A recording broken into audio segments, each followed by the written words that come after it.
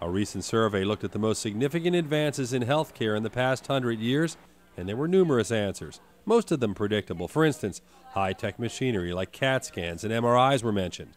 The development of various antibiotics and medications to treat high blood pressure were listed.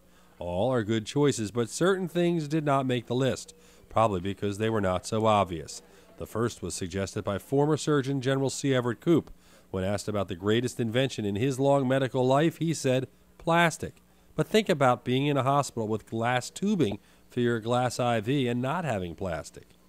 The other suggestion was the increased importance of studies on women that involve women.